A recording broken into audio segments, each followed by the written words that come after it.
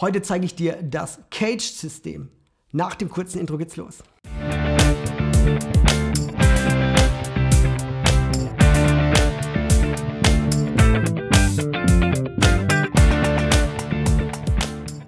Ja, hallo, ich bin's wieder, der Michel, und ich freue mich ganz toll, dass du wieder mit dabei bist. Heute geht's mal um dieses Cage-System. Vielleicht hast du schon mal was davon gehört. Eigentlich ganz einfach erklärt. Es bezieht sich auf die Akkorde C-Dur, A-Dur, G-Dur, E-Dur und D-Dur.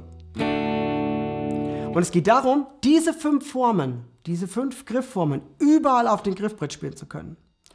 Und ich würde sagen, wir beginnen einfach mal mit dem Ton C. So, ich habe einen C-Dur-Akkord. Wenn ich diesen Griff jetzt einfach mal um einen Bund verschiebe, klingt das Ganze ziemlich schief. Ja, damit kann ich relativ wenig anfangen. Liegt einfach daran, die Griffe, also meine Finger untereinander, die passen ja noch. Aber, das merke ich auch, wenn ich die Töne, nur diese Töne spiele, die ich greife, ja, klingt das Ganze harmonisch, aber wenn ich alle Seiten anschlage, klingt es schief weil ich ja bei meinem C-Dur-Akkord Leerseiten habe.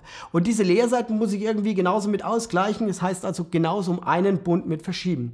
Ich könnte das Ganze einfach so machen, indem ich einfach meine Finger austausche. Das heißt, ähm, wo mein dritter Finger war, liegt jetzt mein vierter Finger. Wo mein zweiter Finger beim C-Dur war, also auf der D-Seite im zweiten Bund auf dem Ton E, liegt jetzt mein Ringfinger. Und mein Mittelfinger, den lege ich hier unten in den ersten Bund auf die B-Seite. Jetzt habe ich meinen Zeigefinger frei, habe immer noch meinen C-Dur-Akkord.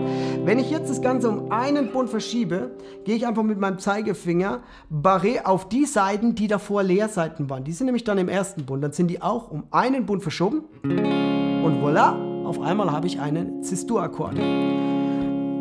Diese Form würde ich mir merken anhand des ähm, vom Ton auf der A-Seite, da wo jetzt mein kleiner Finger liegt. Heißt also, schiebe ich das Ganze zum Beispiel jetzt mit meinem kleinen Finger auf den achten Bund. Das heißt also, ich bin hier im fünften Bund, sechster, siebter und der kleine Finger im achten Bund auf der A-Seite, habe ich einen F-Dur-Akkord. Ja? Nehme ich das ganze Ding und schiebe den kleinen Finger hier auf den fünften Bund, habe ich einen D-Dur-Akkord. Schauen wir uns das Ganze jetzt mit dem zweiten Akkord an. Wir bleiben übrigens heute nur bei den Dur-Akkorden. Also, wir nehmen also jetzt unseren A-Dur-Akkord, verschieben wir das Ganze. Klingt ein bisschen nach spanischer Gitarre, aber ist jetzt nicht unbedingt unser Ziel. Dementsprechend machen wir es auch wieder so. Wir tauschen einfach unsere Finger aus. Das heißt, ich habe jetzt wieder meinen Zeigefinger frei. Ja? Und wenn ich das Ganze verschiebe, ist mein Zeigefinger auf den Seiten, die davor Leerseiten waren. Das war einfach hier auf der A-Seite und unten auf der hohen E-Seite. Ja? Und somit habe ich einen B-Flat oder ein deutsches B. Nehme ich diesen Griff, schiebe in den dritten Bund, habe ich jetzt ein C. Ja? Mein Grundton ist auf der A-Seite. D und so weiter. So, unser dritter Akkord ist der G-Dur-Akkord. Wenn ich den jetzt wieder nehme, verschiebe, klingt es wieder richtig schön schief, aber wir wissen mittlerweile Bescheid. Unser Zeigefinger kann einfach wieder in den ersten Bund und bei dieser Griffform von G geht das sowieso wunderbar. Ja, kann ich mit meinem Zeigefinger einfach über den ersten Bund von G-Seite, D-Seite und B-Seite oder deutsche H-Seite Jetzt spiele ich Ass, Dur oder Kiss. Ja, nehme ich das Ganze, da ist es ein bisschen bequemer, zum Beispiel mit meinem Ringfinger in den achten Bund. Dann habe ich hier oben ein C und danach orientiere ich mich auch bei dieser Griffform. Spiele ich einen C-Dur-Akkord. Was fehlt uns jetzt noch? Unser E-Dur-Akkord. Aber den kennen wir wahrscheinlich sowieso, weil wenn wir den um einen Bund einfach verschieben, sind wir wieder bei der spanischen Gitarre. Wenn wir aber alles, was mit Leerseiten war, ausgleichen, die Finger austauschen, dann spielen wir einen F-Dur-Akkord. Ja? Im dritten Bund dann einen G-Dur-Akkord. Hier ist unser Grundton auf der tiefen E-Seite.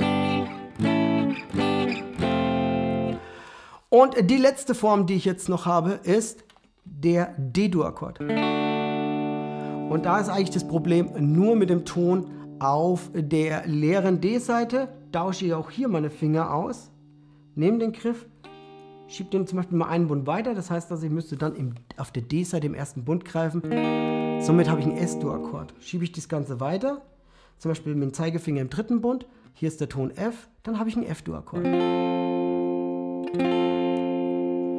Das Schöne bei diesen Griffformen ist, es geht für Dur genauso wie für Moll, ist, ich habe eigentlich immer den Grundton der, des Akkords. Also das heißt, ich kann überall meinen Akkord spielen. Also ich kann nicht nur C-Dur hier spielen, ich kann auch so spielen, ich kann auch diese Form spielen, ich kann auch diese Form spielen oder ich kann auch diese Form spielen.